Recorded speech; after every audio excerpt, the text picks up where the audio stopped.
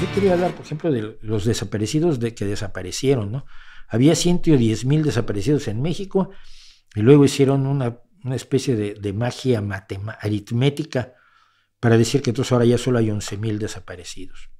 Y esto no quiere decir que hayan aparecido 99 mil personas, simplemente que desaparecieron a los desaparecidos.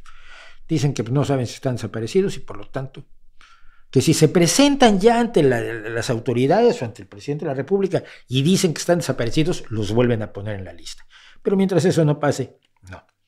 También iba yo a hablar de la destrucción de las instituciones, porque el Obrador ha emprendido un último super decretazo, una super ley para desaparecer un montón de instituciones independientes, instituciones autónomas, instituciones que son contrapesos al enorme poder que siempre ha tenido la presidencia en México, para entregarle toda la presidencia, todo el poder a la presidencia y a la, y a la reciente barbaridad de que los jueces sean elegidos por la gente.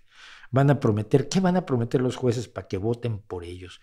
¿Qué, qué relación tiene la carrera judicial y la judicatura con, con, con el ganar elecciones no me lo meto en la cabeza, pero bueno, lo va a lograr López Obrador. Pero me preocupa más que nada esto del ejército y es una sola, un solo incidente.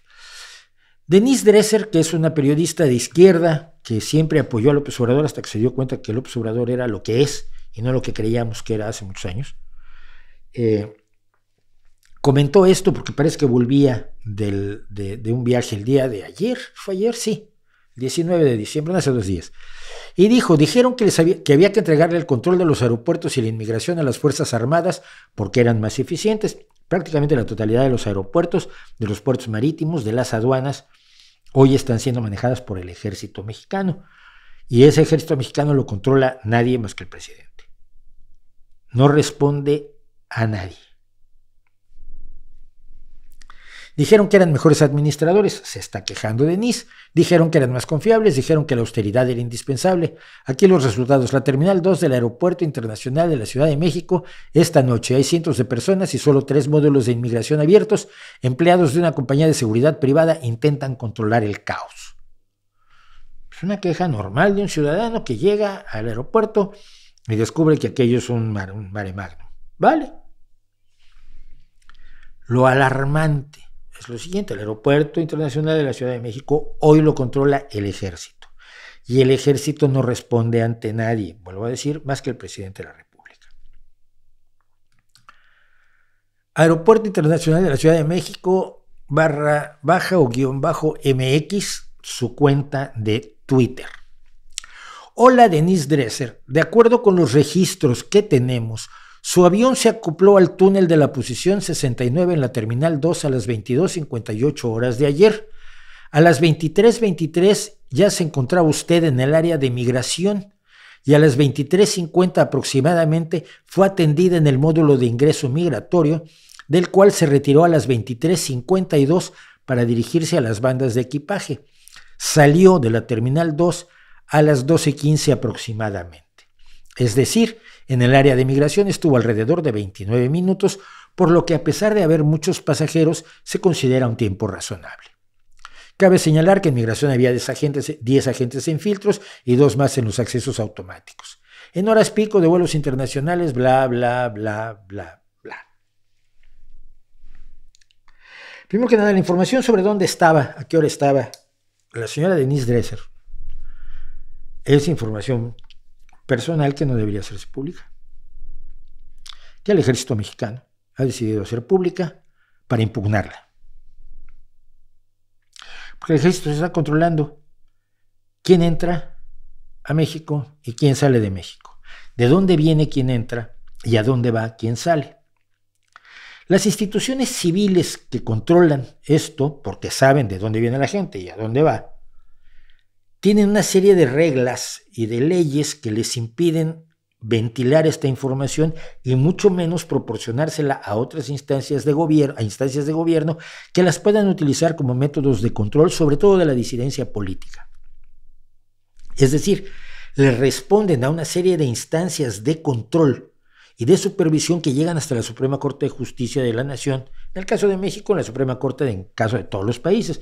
En todos los países, las instituciones civiles que controlan la inmigración es decir, la, entrada y salida de gente del país, que es la migración, y la entrada y salida de, aviones y la entrada y salida de, de, a dónde van y de dónde vienen los que cruzan migración, está controlada y regulada de manera tal que esa información no salga de donde está, a menos que haya una orden judicial.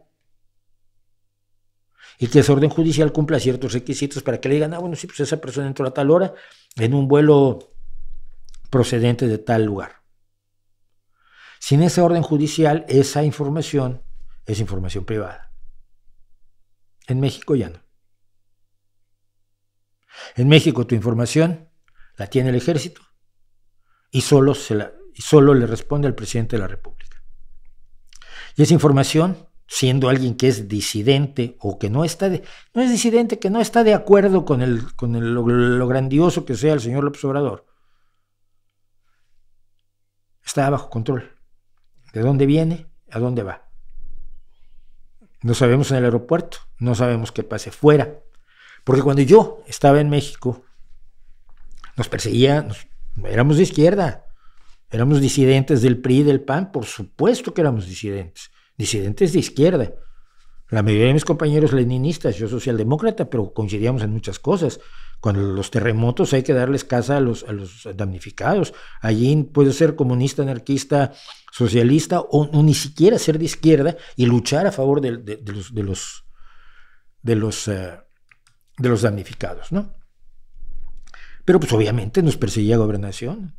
Alguna vez alguien me dijo, vi una foto tuya en la, eh, eh, cuando estabas tomando clase en la universidad. ¿a qué hora me tomaron una foto tomando clase en la ENEP el año que se inauguró la ENEP Fue el año que estuve ahí, luego estuve en la Universidad Abierta. ¿Quién, cómo me tomó subrepticiamente una foto que está en mi, en mi folio de... Y además yo nunca me metí en nada grave. Pero en gobernación tenían una carpeta con mi nombre y mis actividades de rojo malévolo socialista. ya lo viví, es muy incómodo. Y que nos espiaran. Que hablara yo con otro escritor y, y oyeras cliqui, cliqui, cliqui, cliqui. ¿Verdad? Y no estabas hablando tú de hacer la revolución en México, que nunca la quise hacer, que quiero hacer ninguna revolución. Eh, pero, pero hablaba, y hablábamos de, por ejemplo, de novelas y de qué estabas haciendo con tal personaje y cómo resolvías tal cosa. Y, ay, es que, es que hice un capítulo bien bonito con un personaje que maté cuatro capítulos antes, ¿qué nos pasa seguido? Cosas así. Y nos estaban oyendo. Pero no era el ejército. Había otras instancias. Era, era gravísimo era, y era aterrador. Por supuesto que era aterrador. El día que Cedillo me mandó todos sus discursos a mi casa con un mensajero, a mí me dio mucho miedo pensar que Cedillo sabía dónde vivía yo, siendo que yo era un disidente y además escribió un libro sobre los primeros 100 días del gobierno de Cedillo que no le cayó nada bien. Pero ahora todo eso lo tiene el ejército. Pregúntenme si quiero volver a México. La respuesta es, cuando la tropa vuelva a donde tiene que estar, a los cuarteles y haciendo maniobras militares, dejando en paz todo aquello que debería estar haciendo la sociedad civil, que es responsabilidad de la sociedad civil, que es prerrogativa de la sociedad civil, porque un país lo debe controlar su sociedad civil y no su ejército. Si lo controla su ejército se llama de otro modo.